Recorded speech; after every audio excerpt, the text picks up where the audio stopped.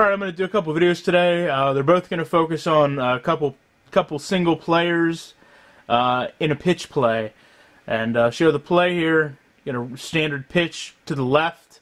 And you can see that as soon as the pitch comes back, I've got a, a linebacker that's got penetration into the backfield uh, almost instantly. And my fullback comes up and picks him up right there and allows me to run past. The, the whole objective in a pitch play is to get containment um, in this area so that my uh, my halfback has room to run and get to the outside where hopefully his speed um, can get him you know at an angle down the field uh, for a score.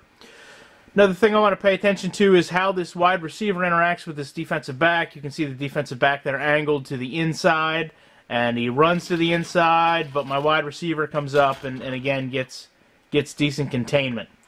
So now that the wide receiver and and one of the linebackers are out of the play, you can see the other linebacker there is uh, running pretty much stride for stride with my halfback. And when I turn up the field, he makes contact with me.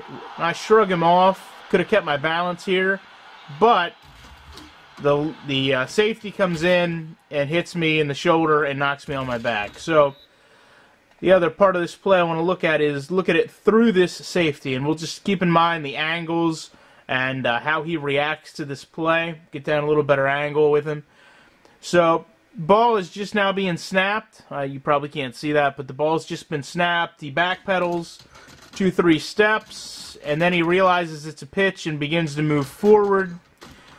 He sees the linebacker come up, going to engage with my halfback, and then he's going to come in and, and lay a hard hit to make the play, you know, over, make my running back irrelevant in this situation. So we're going to do this at speed one time from the safety, and we'll just, uh, again, pay attention to the angles that he runs at to get to the ball carrier. And then we'll do this one time at speed from my halfback. And again, just pay attention to the blocking and uh, how the play develops.